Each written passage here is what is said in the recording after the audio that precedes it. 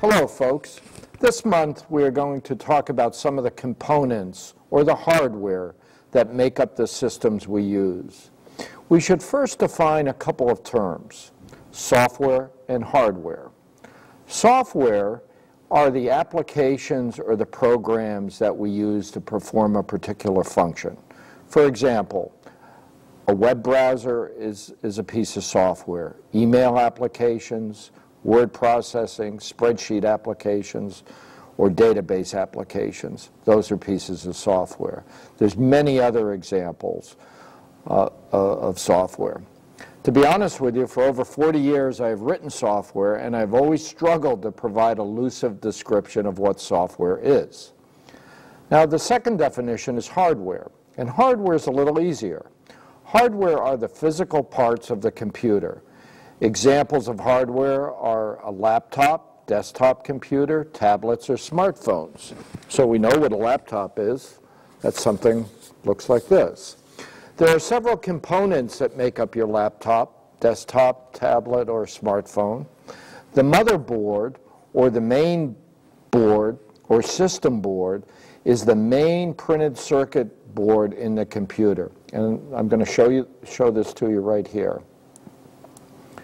And here I just did a search for motherboard. And this is the motherboard. And if we were to look at the uh, inside of, of this computer, we would find in here this main printed circuit board, which is the motherboard. And on this motherboard, all the other components will plug into the motherboard. Okay. Now, two key components on the motherboard are the CPU, known as the Central Processing Unit, and RAM, Random Access Memory. Now, the CPU can be thought of as the brains of the computer. And on this picture here, this is where the CPU would plug into. So if you were to have an Intel CPU or an AMD CPU, this is where it would plug into. Now the RAM, which is the memory, that plugs into these slots here. And you see here, these are indicated by DIMM memory slots. Now DIMM stands for dual inline memory module memory slots. And a piece of memory that would plug into that is this. This is a, a piece of DIMM. And on here, it's divided up into 256 megabyte chunks. But this would be a 2 gigabyte uh, DIM, DIMM board that would plug into that slot. Okay? Now, the motherboard contains connections for all of the components, and it also provides the points of interface for external devices. For instance, if we were to uh, uh, plug an external device, such as a memory stick, this would actually be plug, plugged into the, um, into the into the motherboard. Or if we were to plug in headphones, this is pl being plugged in to the uh, motherboard as well. Now, these devices here are hardware. The, these are other examples of hardware.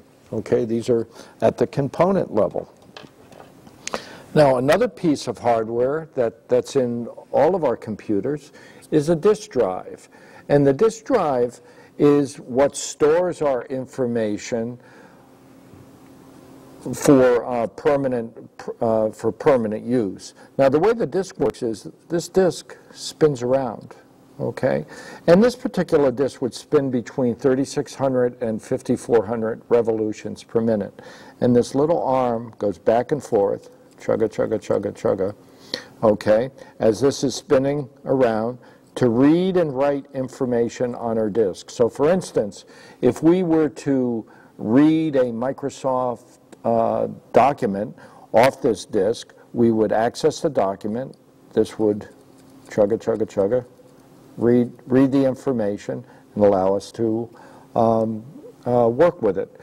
If we were to create a new version of a file, we would write it and it would go on the disk this way as this is spinning around. So this is a component, okay? This is a component, a disk. And this would effectively plug into the motherboard. Another component that would plug into the motherboard, this would be a wireless card. This plugs into the motherboard. This is the point that this plugs in at. And this has a little place for an antenna right here. And that's a... Uh... Now, another piece of hardware is a router. This is an old router I have. This is also considered hardware. You notice the characteristic of hardware. We can touch it, hold it, drop it, do all sorts of things with it. Okay. Now, one thing I, would like to point out for you on the motherboard is uh, the components that are labeled heat sinks. And you'll see these up here. You see heat sink, heat sink, a few others, heat sink. And the, um, uh, what a heat sink is, is heat or overheating is the enemy of computers. The faster computers run, the more heat they generate.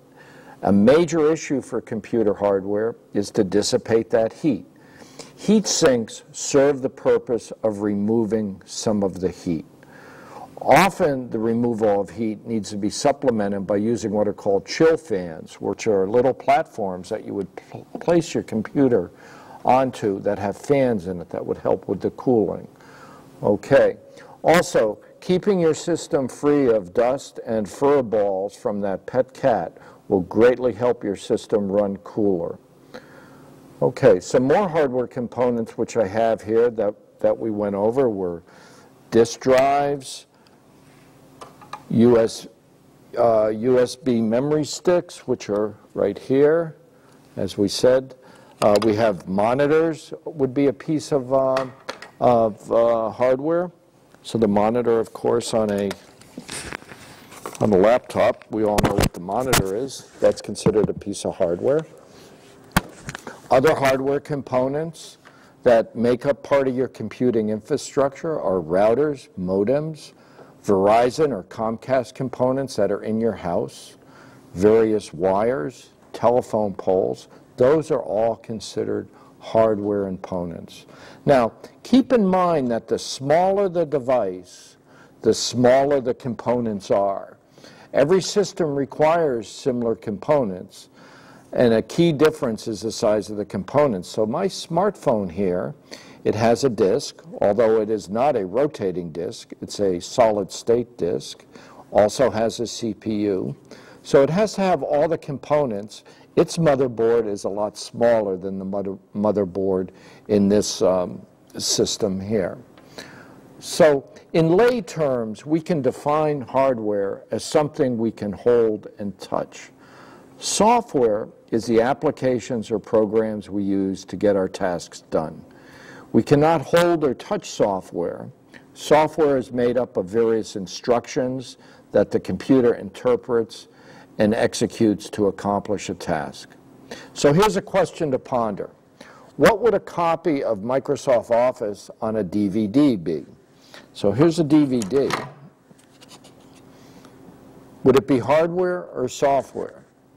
Well, the answer is the physical media, which is the DVD, that's hardware. But what is on the DVD is software. I advise you to use the internet and your browsers to investigate and research topics and questions you have on various items. Similar to how I looked up a picture of a motherboard, you could do the same for some of these components. Try performing a search for USB memory stick or computer mouse. When the search is complete, select images at the top of the web searches and see what you get.